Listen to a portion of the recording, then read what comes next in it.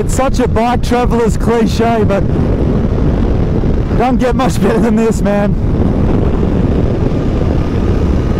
This is why we ride. Info Moto.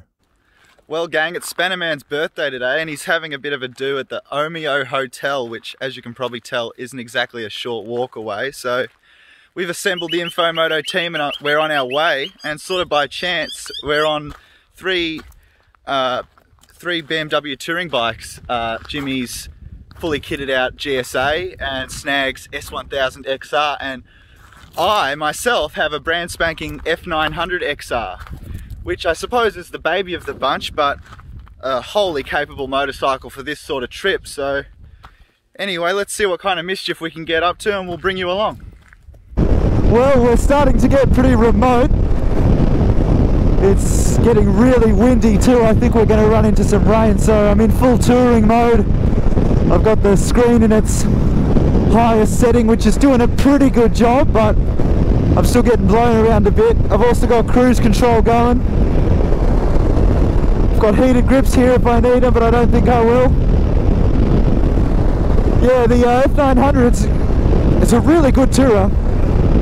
Um, the, the only time you really notice, the, the only real difference between this and the, the bigger S1000 XR when you're on the freeway is that S1000 obviously has that incredible engine um, made famous by the S1000RR and I'd be lying if I said you know the S1000 didn't feel like a lot more thrilling simply because of that insane engine. But if you're honest with yourself the 900 has more than enough go for basically any application short of a racetrack.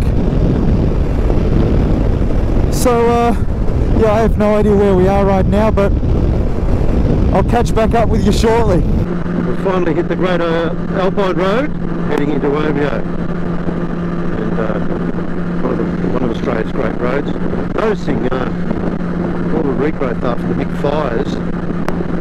Uh, and uh, yeah it's all nice and green now but I can imagine what a moonscape it looked like not long ago yeah, what a road. Let's just tuck in and enjoy it, eh?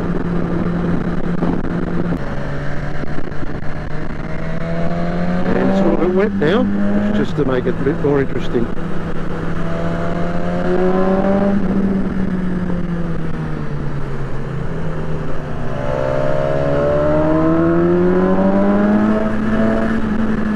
So we'll just uh, concentrate a little bit here.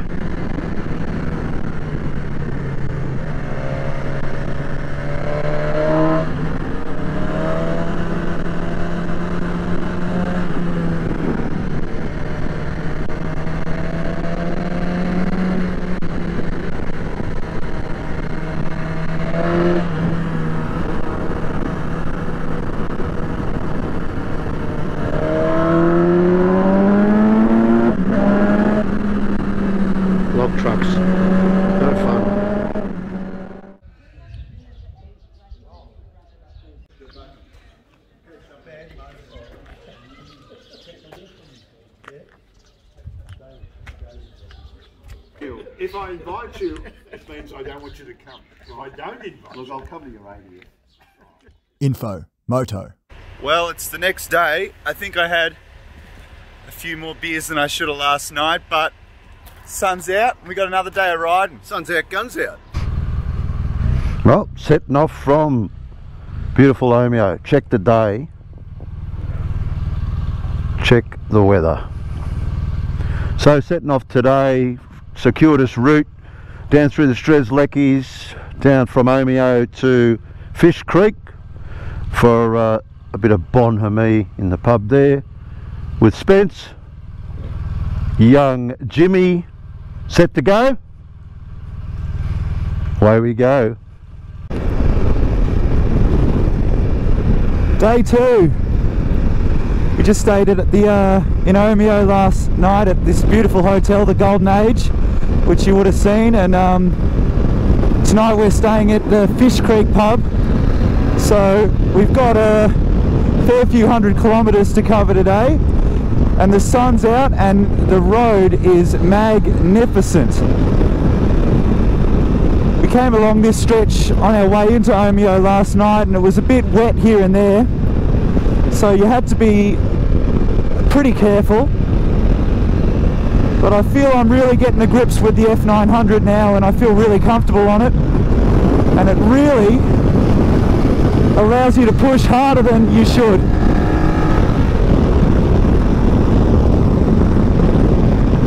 I'm torn between wanting to absolutely hammer along and look at this incredible Victorian view. I'll have to do a bit of both I reckon.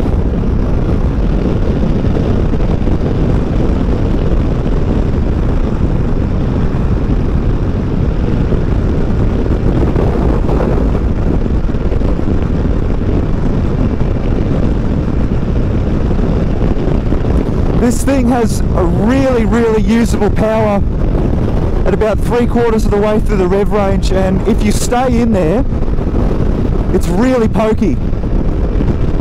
And the front end feel is superb. It's not electronic suspension like the boys have on their bikes, but on a smooth road like this, it's it's perfectly set up. And uh, there is a steering dampener under there, nicely hidden in true BMW spirit. Understated, yeah.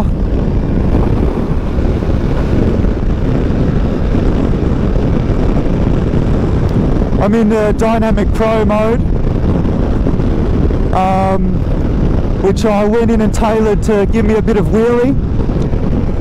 Because uh, in standard Dynamic Pro, even though it's the most performance-oriented mode, the wheel is completely suppressed and, well, there's just not much fun in that, is there?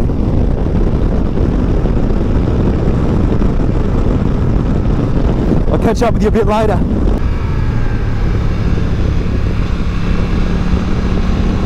Man, there's so much grip. Touch wood. It's such a bike traveler's cliche, but don't get much better than this, man. This is why we ride. What a road. What a road.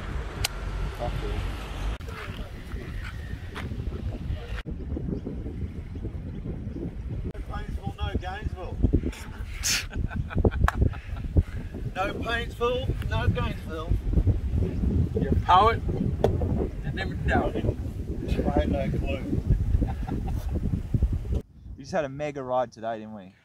Well, we came down from Omeo, that uh, the Great Alpine Road, and I tell you what, I know where it gets the great from Yeah, big time. because uh, twisty, beautiful surface, demanding road. It was. Well, we came down there yesterday on the way into Omeo, and it was a bit wet and a bit dark. Bit of and so- diesel. Di- yeah, it was a different animal. You couldn't Yeah. really have a proper rip last night, but today the sun was out, particularly this morning, Yeah. and I, I felt like I had a lot of grip. Did you? Yeah, look, I, I, I look, we got down there in a spirited fashion. I think it, you fellows were there fairly well before me, so uh, I never at any stage felt like it was a dangerous ride or anything like that. But Yeah. it's certainly one that you could concentrate, get up over the front end, and have a real dip. And, and I loved it. And the good thing was there was bugger all traffic up there, Yeah. Oh, barely any. barely Yeah. any. And uh, yeah, had a great ride to beautiful Paynesville. Now I love Paynesville, no, and I do say no Paynesville, no Gainesville. Yeah, all right. Don't, Well, what's next on the agenda? Next on the agenda. Well, Uh, that was S1000 though. I mean, that eats up road. Oh, look, as I think I was telling you before, showing off a little bit, I, I try and keep it a gear too high, so I'm clicking up and down the box because it, on the pipe, it just sounds like a bloody Formula One yeah, car it's when they sounded I- good. Yeah. yeah. So I'm, I'm having as much fun sort of listening to it um, and clicking up through that gearbox with that with that quick shifter. Yeah. It's a hot knife through butter. Oh, it's a hot knife through It's a butter. hot knife through butter. But you've got your podcast going and having a much more relaxing. Sort I of day. I- I was taking in some some politics and a little bit of uh, French philosophy this morning. What about yourself? Pretty helpful leather, to be I honest. think you were just getting getting, getting rid of I last night's just headache. over or the speed limit. I just think, over the speed limit in the 10% area. Yeah, and you were on the, the F900 XR, Yeah. the uh, probably the little brother to the S1000 XR. How did you get on? Well, I was saying yesterday that like I- it does itself a disservice because I've spent so much time on S1000s. Unfair, it's isn't it? like you miss that motor, but now I'm getting more used to it. And on that road, when you can really hook in, I felt that I could ride the F900 probably faster than I could the S1000, just because yes. it didn't have that wild it's grunt. not, not as brutal. in the rev range, and when once you get used to riding it and how to ride it fast, Yes. it's a really quick motorcycle. And above all else, that um, the suspension, man. Yep. It just Yep. eats it for breakfast. And at one stage, I, I grabbed a heap of front brake mid corner, Yes. which you know you're not really allowed to do. Shouldn't be. But um, I mean, it just lets you do it. well, it has it has that all that um, uh, dynamic uh, yeah, brake- cornering ABS, cornering ABS. control. That's it. And uh, look, it really it it forgives you, doesn't it? Absolutely. It lets you off the hook. Yeah, and I reckon like that's a good thing for probably the sort of person that's buying an F900 XR. Yes. Um, as more an entry level, fast sports tourer. Yes. Um, like it looks after you. Yeah. Really looks after you. I think, look, if I'm honest, I'd like a little bit more grunt out of that motor. I'm sure it's there. I'm sure it's there with a tune. Like oh, look, yeah. no doubt. But look, a- a little bit more horsepower. Mm. But then again, it's true. I'm, I'm getting off the S1000 XR, which it's not fair. Not fair it's really not fair. Um, and I like the bags. I like the idea of the bags. Oh, bit expensive equipment falling on the floor there. See, this is what happens when you do stuff live, folks. You're getting the complete uncut truth. The uncut as truth. it happens. And of course, Jimmy's here on his 1200 GS, and he's supposed to be a dirt rider or you know a quiet adventure rider, but Jimmy just seems to be disappearing into the distance, doesn't he? His tyres were spanked, man. I, I think he was showing off a bit, Yeah, but he was. um, I was impressed. Um, a little bit worried Yeah. because I thought I might find him up a tree anytime soon, but the old GS, eh? It just There's- keeps on surprising, don't They're crazy, man. They're crazy. They just keep doing things they shouldn't. that A bike that big shouldn't be able to do. Shouldn't be able to do. Well, a bloke that big shouldn't be able to do it. I, I know. reckon, a, eh? a man of limited ability. a man of limited ability, he certainly uses. He started with nothing and he's got most of it left. Yeah. So we're heading on now yeah. to, Where are we going? well, uh, we're going to the beautifully named Fish Creek. Oh, Fish Creek. Fish Creek. And there are fish and there is a creek. The Savoy. The Savoy. There's a very good uh, Besser Brick Motel that you'll enjoy the environs of. A nice uh, fat steak, uh, a bit of bench racing, Yeah. and uh, look. I, fucking- Well, well, well, I had probably had too many beers yesterday, but Well, the details are sketchy, but I think when you go into the Fish Creek Hotel, beer is a little bit compulsory. all right. So, look, a beautiful part of Victoria. I'm going to take you down the Strzelecki Highway, you guys, and seriously, you're about to be thrilled. Really? Absolutely thrilled. It is one of nature's highlights, except for the cow dung. Be careful. Right. All right. Cow dung. And if there's cow dung, there's cows. yeah. Often, it often follows when you have cow dung, you have cows, Jeez, um, detective. and then tractors and blokes that really left school in Form 4, you know? No, yeah. So just keep your eyes and ears open, It's right? a sensory experience. then. Sensory experience. So All good, right, good let's luck. go for a ride, eh? Okay, we'll go for a ride.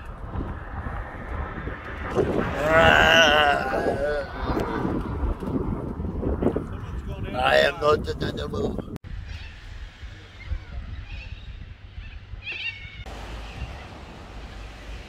Well, we've arrived at the Fish Creek Hotel and I'm officially knackered. Let's see what Snag has to say. Well, I'm a bit shagged, actually, yeah. if I'm honest. But uh, yeah, is there a better feeling than when you get to your humble abode after three or four hundred k's of some of Australia's finest? I think not. Do you mirror Snag's feelings, Jimmy? Let's go again. Info, Moto. Day three. Wet, I noticed.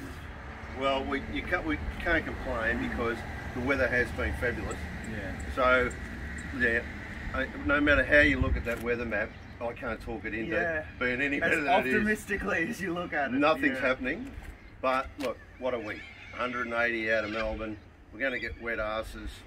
What a great ride. Which Fish way are we going?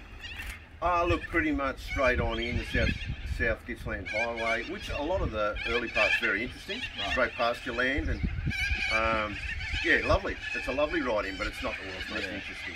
Well, it's warming up and a bit of water never hurt anyone, so. Would you also no shenanigans, please? No showing off. All right. yeah. What chance? Yeah. I'm more worried about Jimmy behind the camera. Oh, I'm more worried about Jimmy full time. What a great trip. Yeah, really, go. really good trip.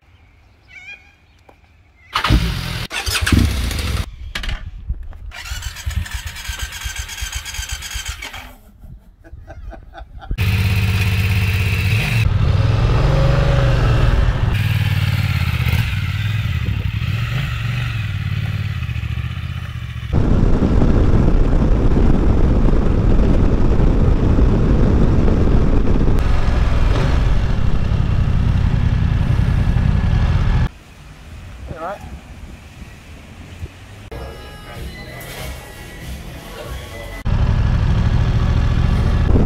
Well, can you believe it? The sun came out. We only got about two hours of rain and now it's beautiful again. We really couldn't have been luckier and um, yeah, what a great trip. Three really great bikes, great roads, great blokes. You can't ask for much more than that. So I guess we'll just dawdle into Melbourne City and get back to our normal lives, eh? Thanks for coming along.